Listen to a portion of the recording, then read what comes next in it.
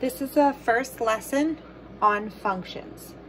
So a function is a set of ordered pairs in which each x value corresponds to only one y value. Each function must pass the vertical line test and you're allowed to abbreviate that with VLT. So my first diagram when it is drawn. My second diagram drawn. And my third one drawn. If you can imagine an infinite number of vertical lines as if they're rain drops coming down, if each one of those lines only hits the function once, and only once at most, at once I should say, this is definitely a function.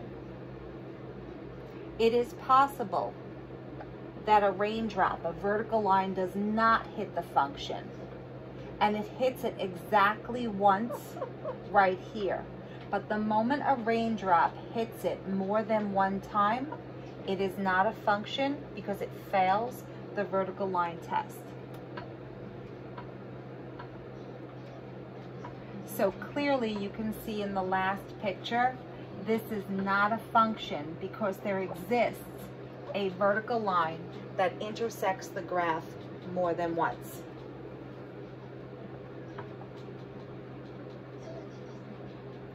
So in order for something to be a function, it must pass the vertical line test, which the first one does.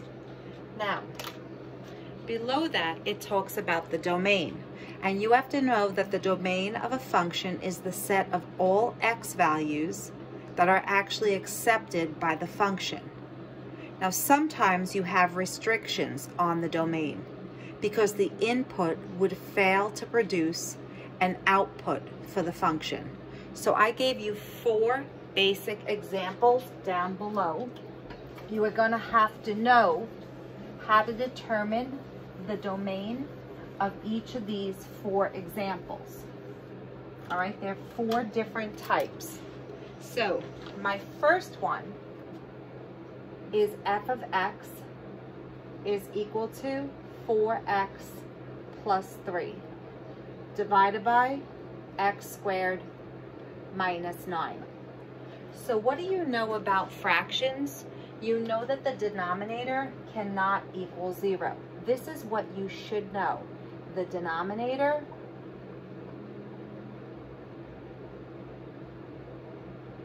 cannot equal zero. Now, if you know that the denominator can equal zero, well, let's figure out first when it is equal to zero. When you set your denominator expression equal to zero, all quadratics get factored using dots in this case,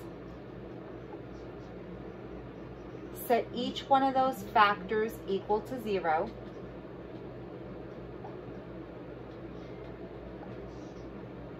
and solve. When x is equal to 3, the numerator comes out to be 15, but the denominator comes out to be 0, and you are not allowed to divide by 0. Therefore, x cannot equal 3 in the domain when x is equal to negative 3.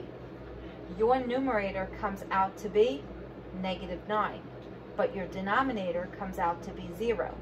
You're not allowed to divide by 0, so therefore you're not allowed to include negative 3 either. So what is your domain? It's all real numbers except for negative 3 and positive 3. And the way we write that down is as follows. Negative infinity to negative 3. We jump over negative 3 and go across to 3. We jump over 3 and we go to infinity. This is interval notation for the domain. It means all real numbers work except for negative 3 and positive 3. That's the answer to the first one. Now, second type of problem that you could get would be a problem that includes a radical. So I gave you this particular example. So what is something that we do know? We do know that you can't have a negative number underneath the radical. The part that's underneath the radical is actually called the radicand. And the radicand cannot be a negative number. So I'm just going to write it like this. Cannot be a negative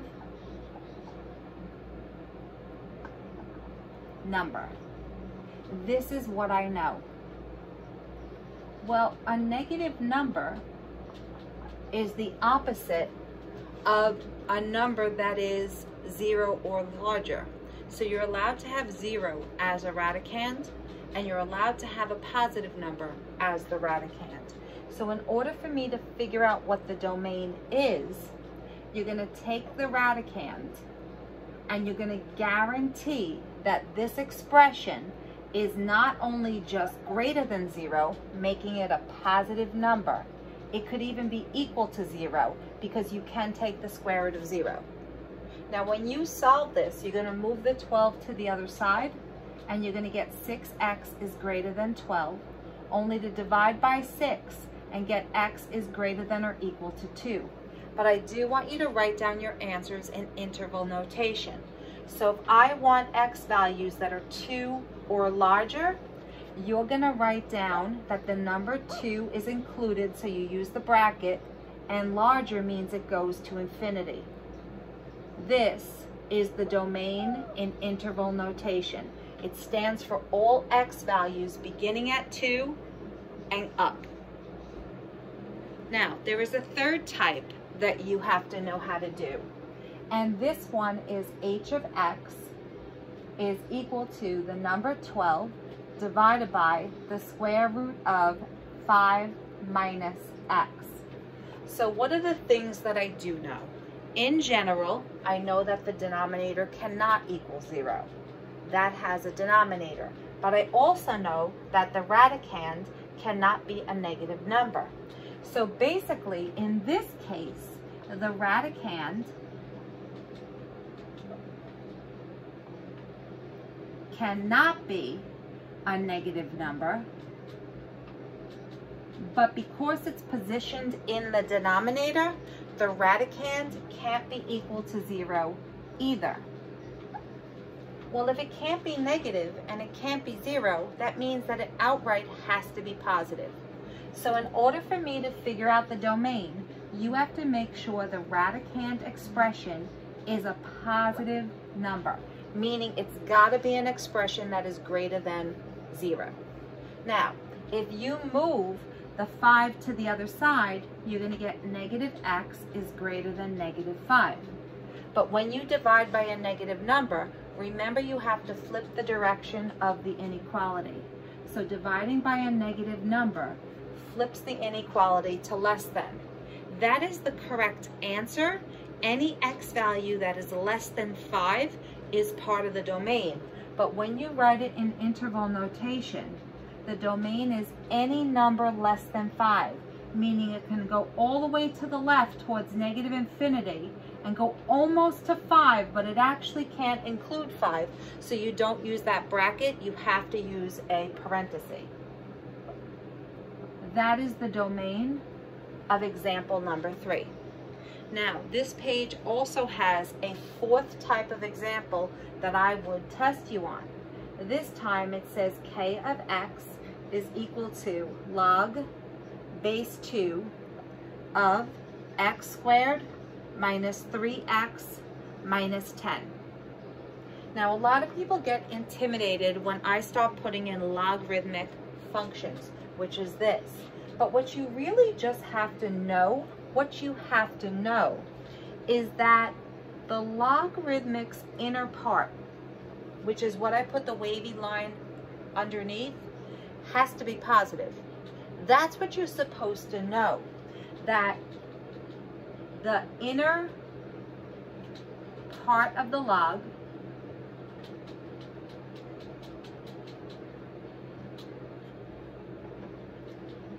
has to be greater than zero. It can't be equal to zero. It doesn't work. It can't be negative. It doesn't work. So the things that you're supposed to know is that the inner part of the log has to be greater than zero, which means the expression that I'm looking at, x squared minus 3x minus 10 has to be greater than zero.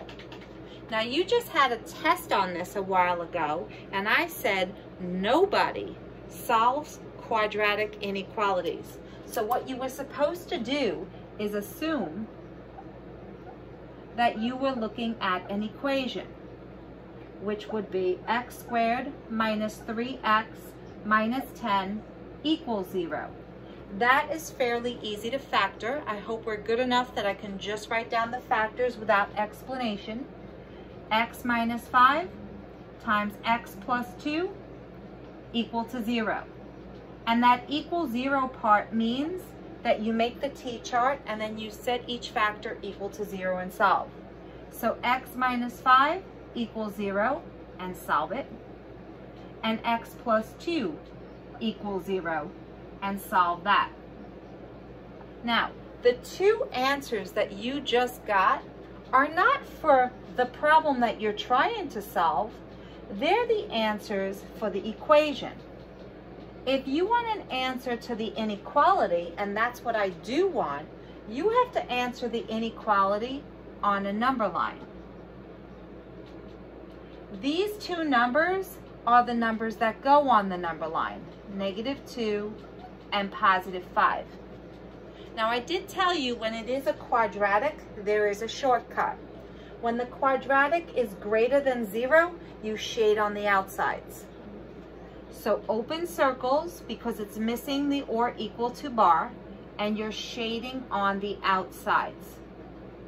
So you don't even have to do a test point. When they're quadratics and it says greater than, you're always shading on the outside. Now the only thing I'm looking for is even though this is the correct display of the answer, I do want it in interval notation. So the piece on the left-hand side for the domain goes from negative infinity to negative 2. But the negative 2 is not included because it's not filled in. Then there's that gap in the middle. You have to write down the union symbol. That's for the gap in the middle. When you want the shading on the right, it goes from 5 to infinity, but the number 5 is not included, so therefore you are using parentheses. So problem number 4, the domain in interval notation is on the far right of the board. Now, the last part of this first page says, the range of a function is the set of all y values obtained by the possible input. Okay, now, we only discussed what's a function by passing the vertical line test and how to figure out the domain. You have to remember that the domain corresponds to the x values and the range corresponds to the y values.